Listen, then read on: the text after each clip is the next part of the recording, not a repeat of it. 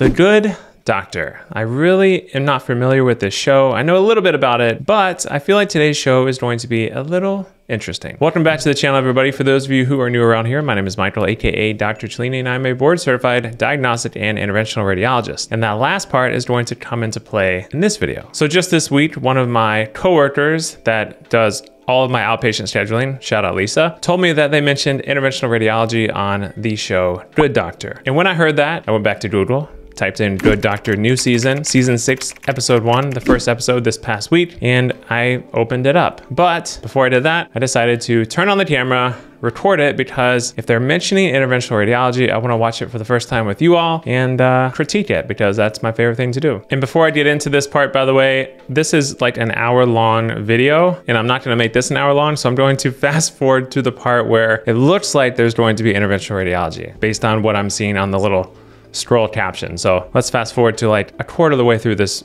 first episode.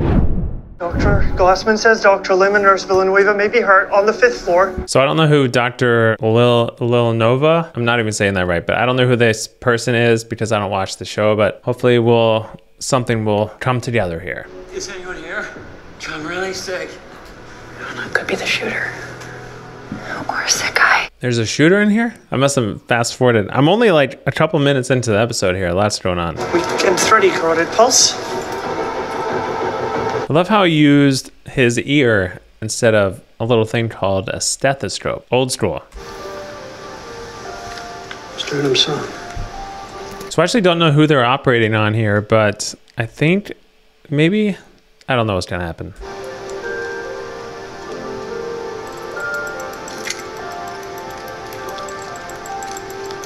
Lacerations to the pulmonary hilum. Left ventricle is nicked. It's because the tamponade.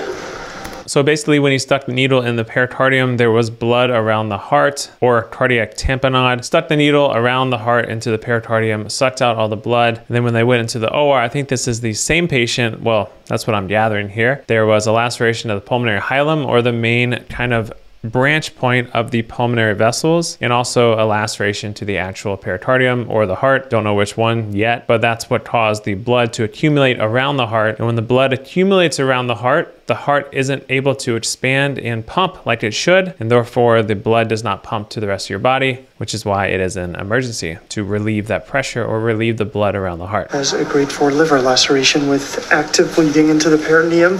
Leah. So grade four liver laceration, it's a high grade liver laceration, usually caused by trauma. Uh, we see it a lot in patients who are in a bad car accident, usually from blunt force trauma, but I think this person was stabbed maybe, can also obviously be from that. I've seen it be caused by many different things like a couch falling on someone and causing a very bad liver laceration. So maybe that's what they're going to repair because that's not really an easy repair in the operating room, but it's a lot easier sometimes to get from an interventional approach or a vascular approach, which is what I would do. We can do an angioembolization instead. And if that goes south, you need a major transfusion.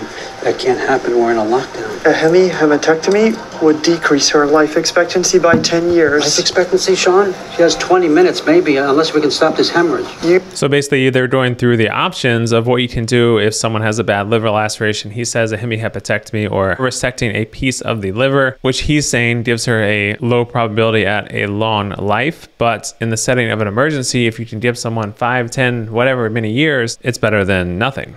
You are being short-sighted. I'm very short sighted. I want to keep her alive. Dr. Glassman, Dr. Andrews needs your help with Villanueva. Ventricle is sewing up. Sean, you are going to cut out the damaged lobe. You understand?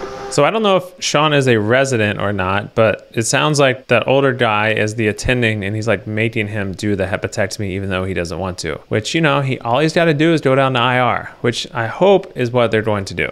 She's unconscious. There's no way to test the collateral circulation to see if there's enough to perfuse her brain. She's young. I'm willing to take that bet. You're willing to risk a massive stroke? As opposed to letting her bleed to death?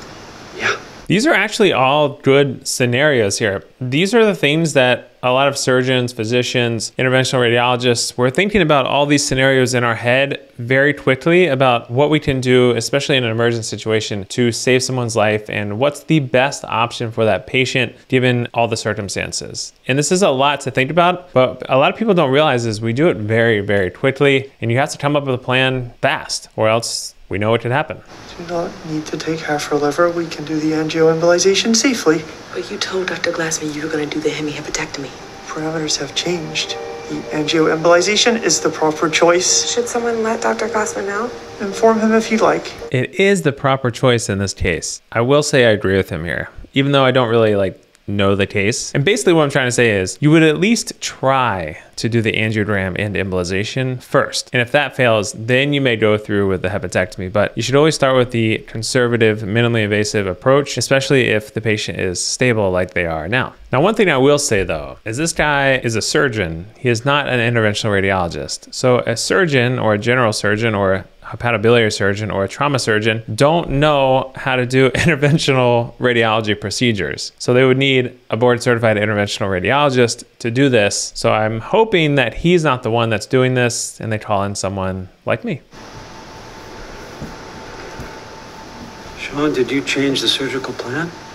The parameters it was based on changed. I adjusted accordingly. Well, now he's getting the flack. This is what happens. I mean, if he is a resident, which I don't know if he is or not, and he changed the attending's plan without telling him, whew, not only is that dangerous, but he may not finish residency if you do something like that. Also, I guess he's now an interventional radiologist, but that's neither here nor there. And ignored my instructions in favor of what you wanted to do? Yes. How far into this are we? I located the site of contrast extravasation and the catheter is in position. Okay. When we're talking about extravasation, that means when we inject contrast within the artery and we see it going outside of the vessel, it's extravasating into the belly. So that's the site of bleeding. So when we say there's contrast extravasation, that means there's an area of acute hemorrhage because the contrast is just doing what the blood usually does because we're injecting it in the vessel. Well, this is great. We're locked in. Give me a coil. So the interesting thing is on that angiogram, there actually are coils. So somebody, either him or whoever, already embolized something, but they just didn't show us. And what he just said right there was, give me a coil. That's a little platinum coil. It's literally a coil, very tiny, that we insert into the vessel and block off the vessel that's bleeding. And that's known as an embolization. One area of extravasation remaining. Deploying my coil.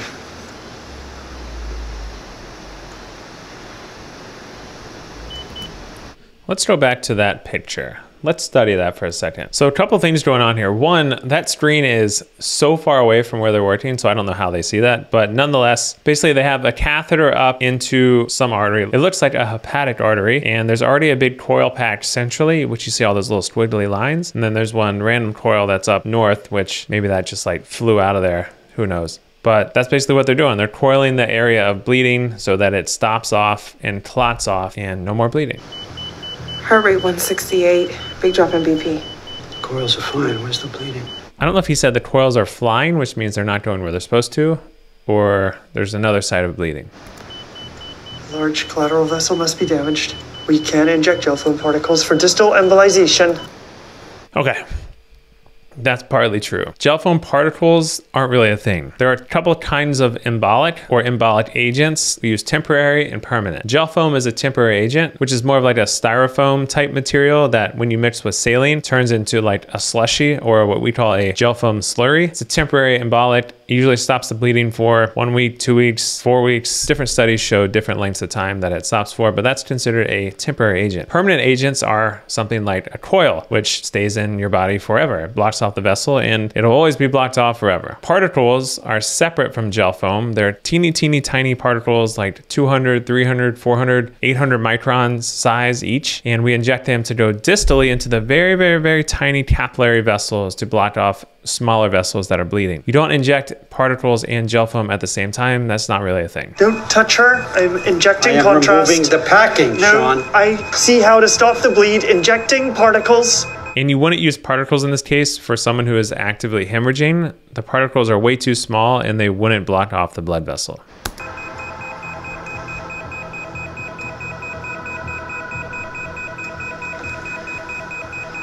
Complete embolization with no residual bleeding. So basically, he blocked off the blood flow to the second site of bleeding with the particles, even though you and I both know that's not how you do it. I would have probably used glue. Yeah, glue, like super glue, or I would use more coils, or you could also use gel foam in there, but particles are the last and only embolic that I wouldn't use here. Nonetheless though, you will see a dramatic drop in heart rate or increase in pressure in someone who's bleeding after you embolize them. It's actually a pretty rapid response. Okay. Let's close her up. So looks like he did the right thing after all. Once again, interventional radiology saves the day. At least he's humble about it, huh? So I don't think there's any more interventional radiology in this specific episode, but hopefully you got a little taste there. I don't want to drag this out too long, so we'll end it there. Hopefully you all enjoyed this video. If you have any questions about interventional radiology or this procedure or anything like that, leave them in the comments below. As always, make sure you smash the like, subscribe button, follow me on Instagram and TikTok if you don't already, and check out Cellini Rounds podcast podcast. I'll put a link up here and in the description below. You need to watch our podcast that I do with my two brothers. I promise you, you'll laugh, you'll love it. If you like medicine, if you like laughing, you'll like this podcast. So go check that out. And uh, I guess, as always, I'll see you on the next one. Bye.